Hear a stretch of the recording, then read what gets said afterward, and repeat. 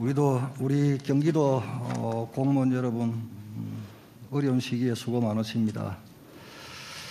자 이제 에, 이 지사님 음, 제가 아수라의 제왕 그분은 누구인가 아, 한번 검토를 좀 해보려고 합니다. 자 시작합시다.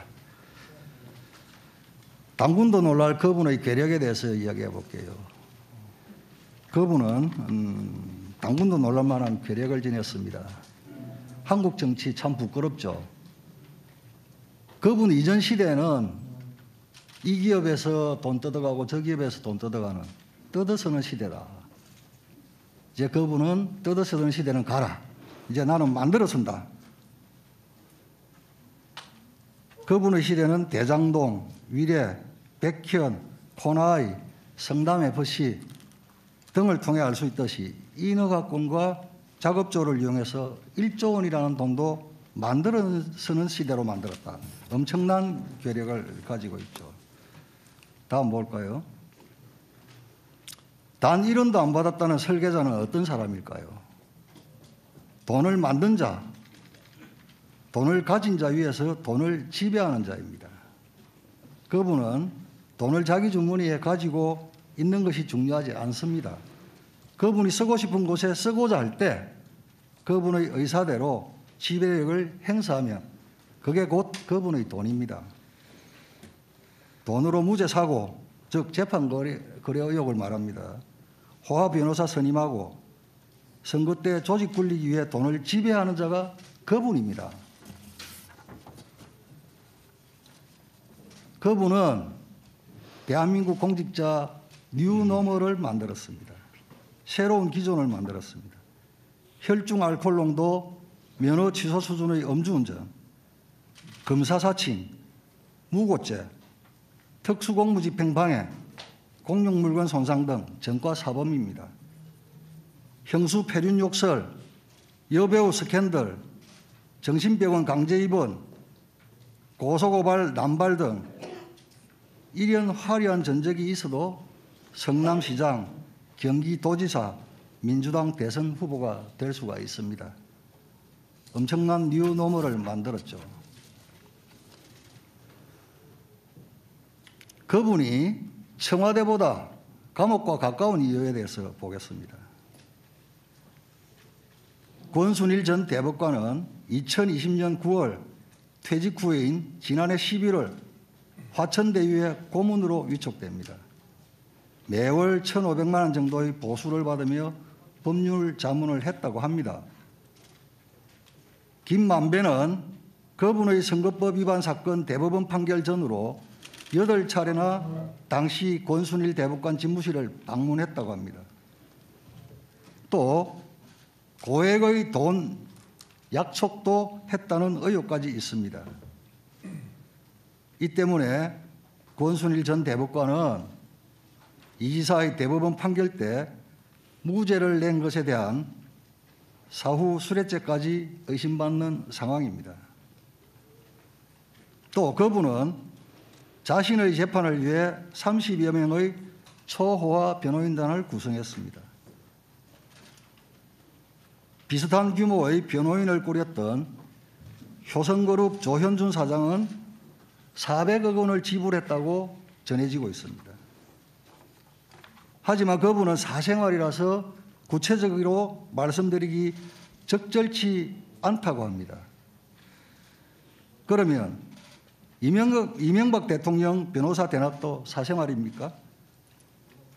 그런데 이명박 대통령은 어찌하여서 변호사 대납, 대납 관련해서 유죄로 뇌물죄로 유죄를 선고받았습니까? 친여 시민단체가 상장기업 S사의 거분 변호사비 대납 의혹을 제기했습니다. 대납이 사실이면 뇌물죄에 해당합니다. 그분의 가면 뒤 실체를 보겠습니다. 그분의 실체는 시민을 챙긴 지자체장이 아니라 돈을 지배하는 자입니다. 변호사 땐 민간 개발을 주장하더니 시장이 되고 난 후에는 공영 개발을 주장했습니다. 가난을 극복하고 성공한 사람이라는 그분, 그러나 그분의 진면목은 권력과 돈의 교집합 꼭대기에서 세상을 내려다보고 있습니다. 서민을 위한다는 그분은 오히려 서민을 위한 임대주택 용지 비율을 축소하고 국민에게는 기본 시리즈의 기본을 강조하면서 자신의 주변은 돈벼락을 맞고 그 돈을 주무르는 사람들로 가득합니다. 그분의 승성장군은 앞으로 우리 아이들의 교육에 준법과 도덕이라는 가르침은 없애야 하는 시대가 될 것이라는 점을 의미합니다. 이기면 무법도 법이 되고 무도함도 예가 되고 폐륜도 출세할 수 있는 시대가 될 것입니다. 막 살아도 권력만 주면 된다는 교훈을 우리 아이들에게 가르칠 수는 없습니다. 지금 의 자리도 그분에게는 온당치 않습니다. 앞으로 이런, 앞으로도 이런 이상 현상이 반복되어서는 결코 안 됩니다. 특검 거부로 그분이 누구인지 인정되었습니다. 오죽했으면 여의도 옆 대나무숲 민주당 보좌진의 외침입니다. 우리 당 60년 역사 김대중 노무현 문재인을 대통령으로 배출한 당에서 이런 사람이 대선 후보라니 나 솔직히 참담하고 창피하다. 음주운전의 전과 사범이 회관 인턴으로 지원했다 치자 어떤 의원실이 그런 직원 받을까? 당연히 그런 수준의 이력은 일반 회사의 원수도 못 낸다. 보통의 인생이면 일반적인 사람이면 최소한의 인격 수준을 갖출 생활인이라면 그런 욕은 알지도 못하고 남에게 할 생각도 못한다. 내가 욕한 게 아니야. 집권여당 대선 주자 말씀이야. 너무 참담했다. 누가 알아볼까봐 자리를 얼른 피했다. 이 대행이 우리를 어디 이 민주당 보좌진의 여침에 대해서 지사님 답변합니다. 네, 에, 제가 먼저 이렇게 에, 발언할 기회를 주신 점 감사드립니다. 우선 제가 네. 잠깐 어, 질문 중에 아까 이해 시간처럼 주고받으시면 답변을 또 그렇게 하시고 또그 간사님하고도 말씀을 나눴지만 또쭉그 질의를 하시고 또 일정 정도 답변을 하실 시간은 일정 정도는 조금 보장한다 이렇게 이야기를 했습니다. 그래서 그 네, 일정 정도 그 답변을 말씀하실 수 있도록 그렇게 하도록 하겠습니다. 네, 네. 우리 잠깐만요. 이 비행기가 지나가고 나면 예. 네.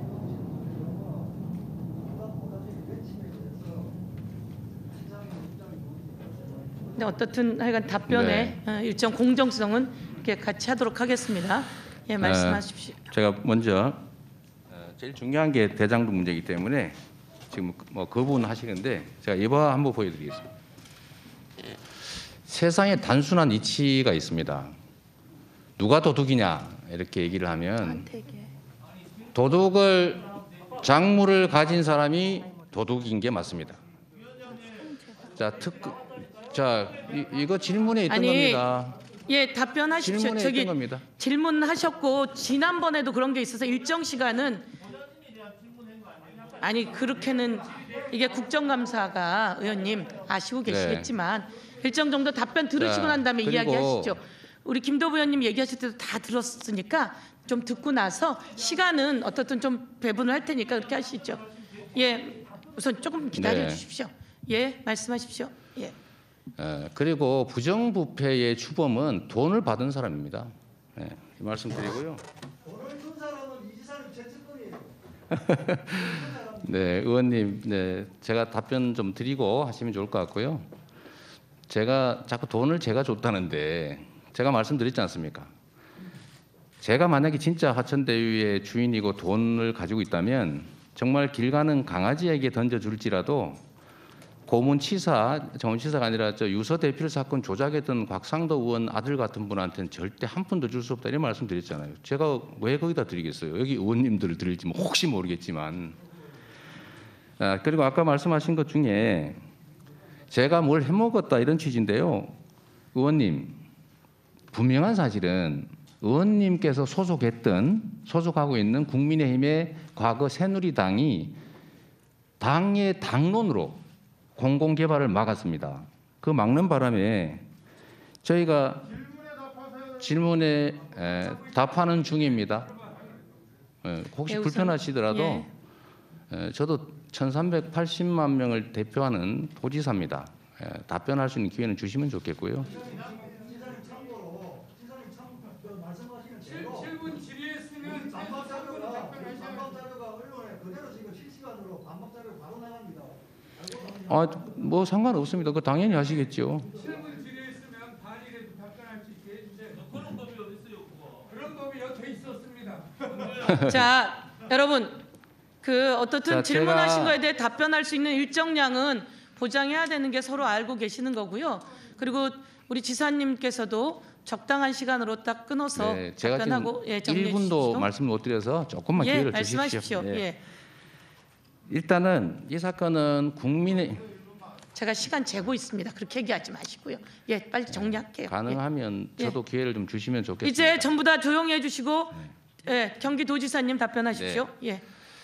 아, 이 사건은 명백하게 국민의힘이 공공개발을 못하게 막았고 국민의힘이 그 동생이 뇌물 받아서 민간개발 주장했고 국민의힘 국회의원이 LH에 국정감사에서 압력 넣어서 LH의 공공개발 포기시켰고 성남시가 제가 공공개발하려고 했을 때 무려 4년이 넘도록 다수 의석을 활용해가지고 공공개발 막으면서 민간개발 강요했고 이 개발 이익을 차지한 민간업자에게 어, 어떤 형태든 금전적 이익을 나눈 건 다 국민의힘 소속의 국회의원 또는 국민의힘이 추천한 국- 국민의힘에 가까운 검찰 출신 변호사들 이런 분들입니다. 그리고 저는 말씀드렸다시피 아까 그 개발 이익 규모를 한번 보여드리면 좋겠는데 최대 1조 원에 이룰 수 있는 이 개발 이익을 100% 환수하려고 했, 했고 그거를 안 못하게 막았기 때문에 그나마 절반 또는 70%라도 환수한 게 이 사건의 진실입니다. 에, 그리고 아까 말씀하신 중에 설계 얘기하셨는데요. 그럼 다음에 하겠습니다. 아니 그런데 아니 예. 이때가 이렇게 지금 예, 말씀을 조금 더 하시고 네, 네. 지금 이제 한 2분 정도 했거든요. 그러니까 43분에 시작해서 46분 시작했는데 지금 아까 이제 주고받은 얘기 있어서 2분인데 예. 네. 그럼 정리하시겠습니까? 아니 그러면 하나만 좀더 예, 하겠습니다. 그렇게 하고 정리해 네. 주십시오. 예. 아까 대선 자금 말씀하셨는데 제가 대선을 전에도 치러봤지만 저는 후원금 쓰고도 남아가지고 반납했습니다. 대선 자금이 왜 필요합니까? 선관위에서 지급되는 돈이 수백억이 있는데 그거는 국민의힘 입장에서는 할 수 있는 얘기고요. 변호사비 말씀은 제가 미리 이 자리에서 드리겠습니다. 제가 선서한 증인이기 때문에 사실대로 말 안 하면 위증죄에 해당될 거 아닙니까? 제가 그 말씀을 지금 아예 밝혀드리도록 하겠습니다. 궁금하실 테니까요. 짧게 해 주십시오. 예. 제가 수사 과정, 그다음에 1심, 2심, 3심 재판 세 번, 헌법재판소, 헌법소원까지 이 다섯 건의 재판을 했고요. 여기에 선임된 사람은 개인 사명 법무법인 여섯 곳입니다. 무슨 30명 하시는데 다 아시잖아요. 무슨 어디 하우 선임하면 거기 몇 명 지정하시잖아요. 그건 한 명이죠. 에, 제가 선임한 건 여섯 명이었 개인 네 명의 법무법인 여섯 명이었고요. 이 중에 한 개 법인이 사임을 했습니다. 그 이거 빼고 그러니까 개- 또 민변 전임 회장 세 분이 지지 차원에서 변론에 참여하지 않고 서명해 주신 게 에, 있어서 총 14명이고요. 네. 저는 변호사비를 농협하고 삼성증권 계좌로 다 송금했고 그 금액은 2억 5천만 원이 조금 넘습니다. 그리고 예, 대부분 다. 연- 사법연수원 동기거나 대학 친구, 법대 친구들 이런 분들이어서 효성과는 비교하지 않으시면 좋겠고요. 저는 2억 8천 뭐 몇백만 원 낸 것도 너무 저한테는 큰 부담입니다. 그런데 어, 이런 데면 400억 변호사비 줬다는 얘기를 비- 비교하시는 건 옳지 않은 것 같고요. 아까 네. 무슨 재판 거래 말씀하셨는데 예. 아니 이 말씀 마저 드릴게요. 이거 궁금하시지 않습니까? 자, 아, 네, 도지사님 이제 그 네. 내용은 고요 맞아. 그 부분만 변호사비 얘기만 마저 하겠습니다. 아, 참 그럼 것 같으세요? 정리하고 넘어가는 것으로 하겠습니다. 네. 그 변호사비를 대납했다고 하시고 무슨 저기 모 대법관하고 재판 거래를 했다는데 상식적으로 제가 2015년에 에, 예측을 해가지고 아 내가 나중에 재판을 받게 될 것 같다 유죄가 될 것 같다 대법원 갈 것 같다고 해서 미리 준비했다는 얘기는 아니실 것 같고 그 다음에 대법원이라고 하는 게 13분이 계신데 그 중에 한 명한테 뭘 한다고 해서 되지도 않을 일이고요. 나머지 무슨 또 무슨 변호사비를 뭐 얼마를 누구한테 대납을 시켰다 이런 얘기는 이거는 네, 아무리 국정감사장이라고 하고 면책 특권이 있다고 해도 이건 지나치신 거 아닌가 그런 생각이 좀 들어서 예, 조금 예. 네, 자제해 주시길 부탁드립니다. 예. 자, 아니 우선 다음입니다. 우리 또그 예, 경기도청에서 국감이 한창인데요. 일단 돌직구쇼에서는 여기까지 중계해드리고요. 뒤이은 아, 뉴스의 라이브에서 이어서 중계해드리겠습니다. 많은 시청 부탁드립니다. 저희들은 6주 광고 후에 돌아오겠습니다.